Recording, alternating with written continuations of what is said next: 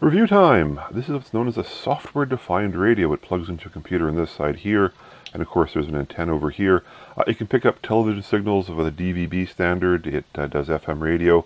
Uh, but more importantly, because it's software-defined, uh, a lot of people have been extending the capabilities of the chip through various programs uh, and picking up all sorts of interesting signals with it. Uh, we're going to tear this one apart and take a look at the chip. So here we have the circuit board removed from that little plastic case. On the left side is the RF input connector on the right side the USB that goes to the uh, personal computer. Uh, two uh, integrated circuits, obviously. The one on the upper left is a Rafael Micro R820. Uh, it's basically a TV tuner, uh, but it can be repurposed for a whole bunch of things. And the one below that is a Realtek uh, RTL2832U. this is a COFDM demodulator, and this is actually a really interesting chip. They can do all sorts of fascinating things and people are definitely repurposing them to uh, take all sorts of signals and process them. Let's see what we can sort down here. Uh, just look at the RF input. Uh, it goes to a capacitor to start with, and then it uh, goes to that integrated circuit. Those are two diodes back to back. Basically, it's a clamp, so I presume if you put too much uh, signal uh, into the assembly, the diodes will clamp it out to prevent it from damaging the IC. There's a capacitor and an inductor in series. That almost certainly will be a bandpass filter. That makes sense. Uh, you only want the uh, frequency of interest to go into your chip. The little series of vias that sort of gets scattered around, uh, that's really interesting. It speaks to RF engineering.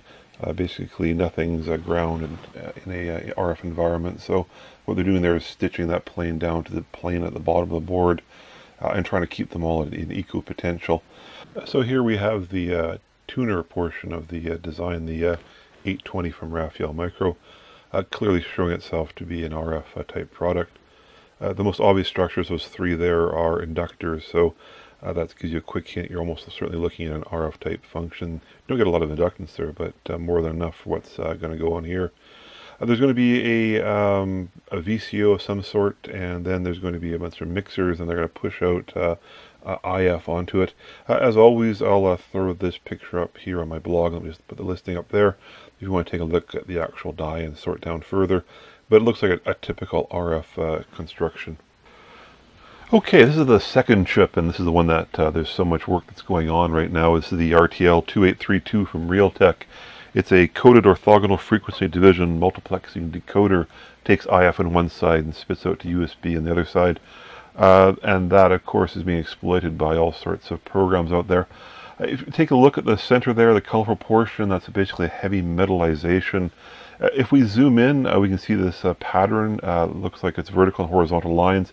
Basically, that's a power distribution. And if you note closely, there's two of them, and I would presume one is power and one is ground. If I circle those little uh, uh, circles, they are basically interconnects uh, between two metal layers. now let's zoom back out. on the upper left and the lower right are some functions which don't have that metallization. I presume those are more analog in nature. here's a zoom in of the one on the upper left. And here's the zoom in, the one on the lower right. So uh, not too surprising, it's a fairly digital function going on here.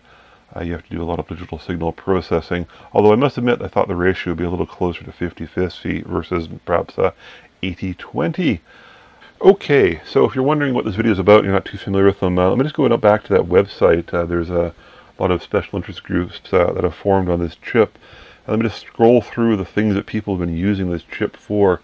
And you can see they've really extended it far beyond the terrestrial TV that it was meant for and it can decode all sorts of neat signals. So if you're interested in one, you can certainly grab one off uh, eBay or Amazon quite quickly